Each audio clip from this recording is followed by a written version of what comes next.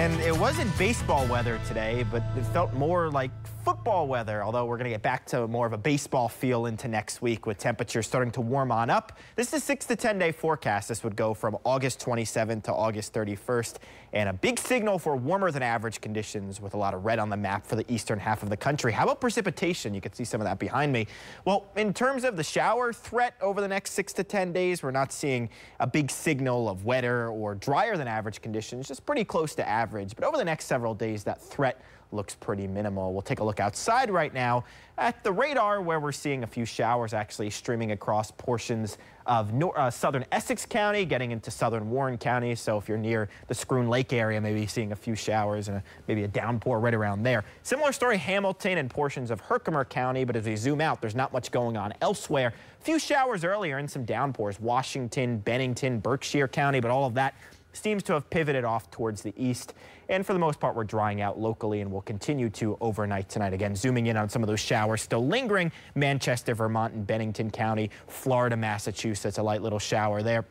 It's part of this broad upper level circulation which is leading to cooler than average temperatures over the northeast, above average temperatures off towards the southwest. Well, the below average air, the peak of it is overhead today. It's now going to start shifting off towards the east, and we will start warming on up in a big fashion over the next several days. But right now, wow, 54 degrees in Oneonta, 52 Saranac Lake, 62 Albany, 68 Poughkeepsie. That's the warmest in the local area right now, and 58 degrees in Utica. What's so impressive is dew points in the upper 40s to low 50s is very uncommon around here in August. It is extremely rare to see that in places like Charleston, West Virginia, 52 dew point in Raleigh, 49 Nashville. So feeling super refreshing over the eastern half of the country. And this will continue for a few more days. Even as temperatures warm up, the humidity increase will lag a bit. So tonight, upper 40s to low 50s, we'll say mid 50s across uh, the capital region, it's upper 40s in the outlying areas. So a windows open night once again. A few showers may linger overnight tonight, largely off towards the north locally. We should continue to be dry. Into the day tomorrow, slight improvement in terms of the cloud coverage. So I think we see more sun and correspondingly warmer temperatures. A lot more of us cracking into the 70s with just a very stray chance of a shower.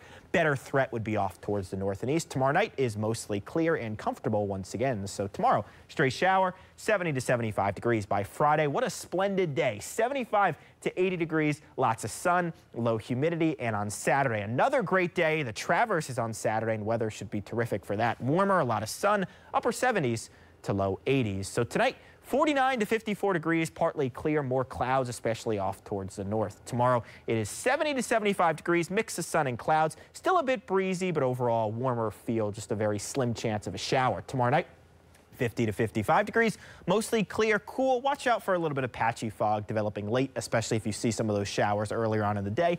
And then Friday again, you can't beat Friday, 75 to 80 degrees, a top 10 day. And another really nice day on Saturday and another really nice day on Sunday. Weekend should be great. Next week, humidity starts to rise and correspondingly will bring up those shower chances. Just a drop, but overall, it looks like a dry start to the week. Temperatures back to feeling like August, mid 80s by day, mid 60s by night.